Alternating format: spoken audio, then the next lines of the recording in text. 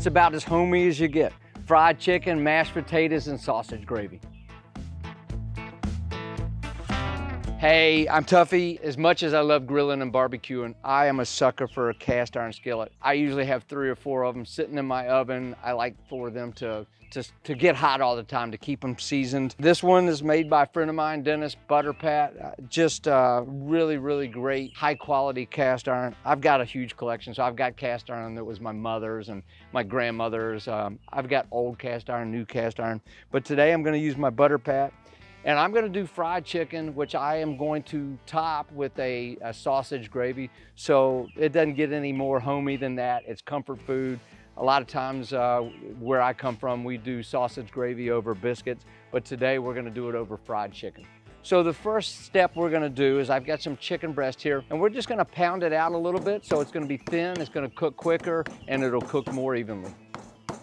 So we can just take this, put it in the refrigerator for now, the next thing we're gonna do is get our dredge ready. I've got one cup of flour, which I'm gonna add one tablespoon of one of my newest rubs, the Big Umami. Big Umami is mostly salt, pepper, garlic. It's uh, just a big flavor boost.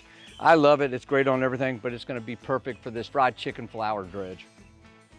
In this bowl, I've got four eggs, which I'm gonna beat and season with two teaspoons of the Big Umami.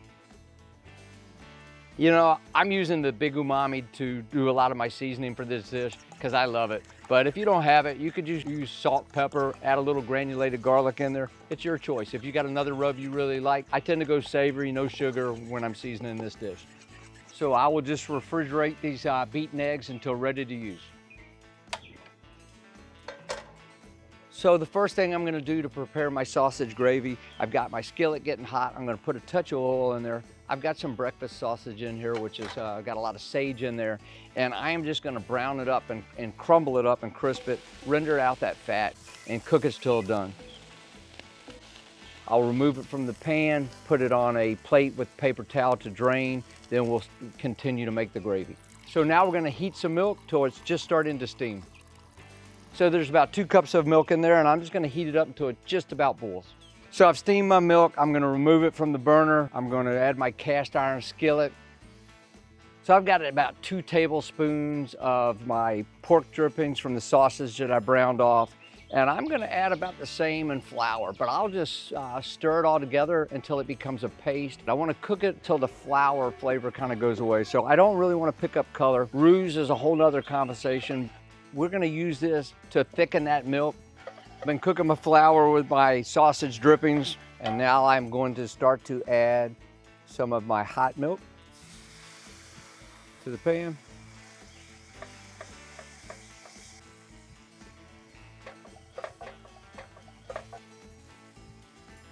So we're just gonna cook this till it thickens, season with a little fresh cracked black pepper, a touch of the big umami, you can use uh, just salt and pepper if you want. Continue to cook this till it thickens. We're gonna add the sausage to it. This is gonna be the topping for our fried chicken.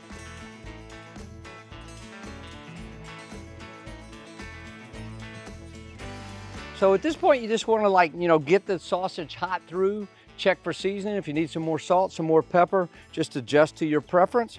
We'll remove from the heat and we'll then fry our chicken. Now it's time to fry the chicken. I'm gonna shallow fry in a cast iron skillet.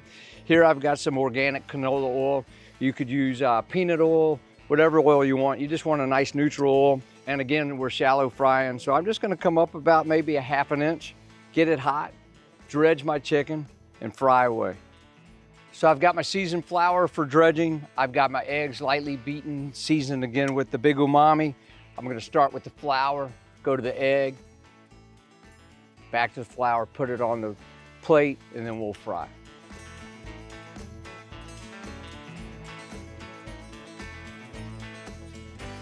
I like to fry my chicken at 325. Going in, dropping it away from you.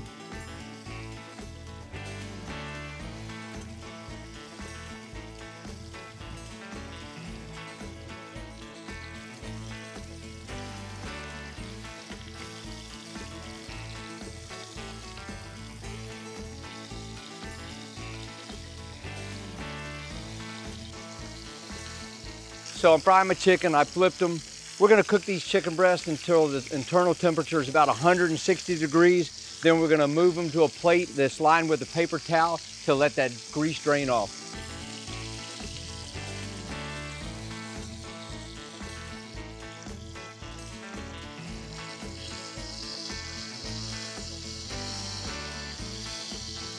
So to, to plate this dish, super homey, we could come in with a green vegetable or something if we wanted to, but we're just gonna take our fried chicken breast. I've got some creamy mashed potatoes that I made. So I got my creamy potatoes on the plate. I've just put a fried chicken breast on there. Now I'm gonna top both of them with some really delicious sausage gravy that I seasoned up with my big umami. If we wanted to, you like it a little bit spicier, we can come in with your favorite hot sauce and just whisk that in to your sausage gravy if you want a little touch of heat.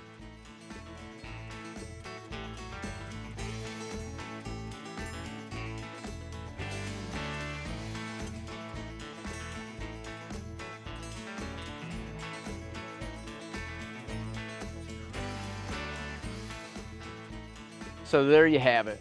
It's a rainy, cold night. You're feeling kind of pouty. Just uh, whip you up some potatoes, fry you some chicken, make some sausage gravy, and you'll feel a lot better.